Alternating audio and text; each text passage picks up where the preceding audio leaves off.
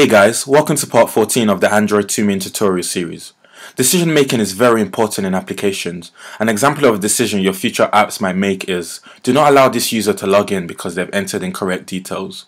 Conditional statements such as if statements are used in Android to achieve this control.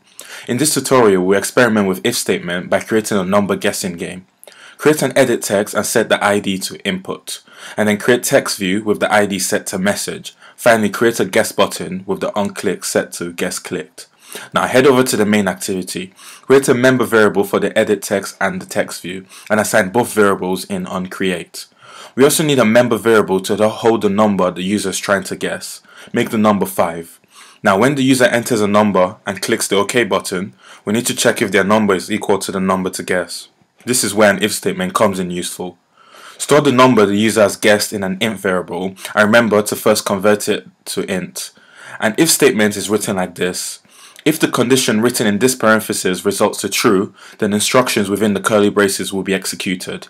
In this scenario, the condition we are checking for is if the guess number is equal to the number to guess.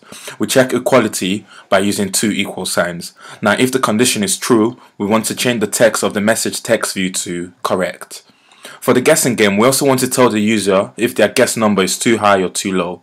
We can use an else if to achieve this.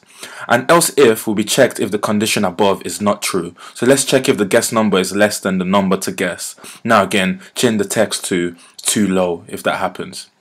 Finally, an else is what happens if all the above conditions are false. It is written like this.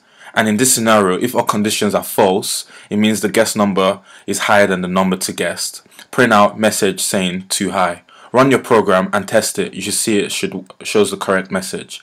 That's it for this tutorial guys. Thanks for watching.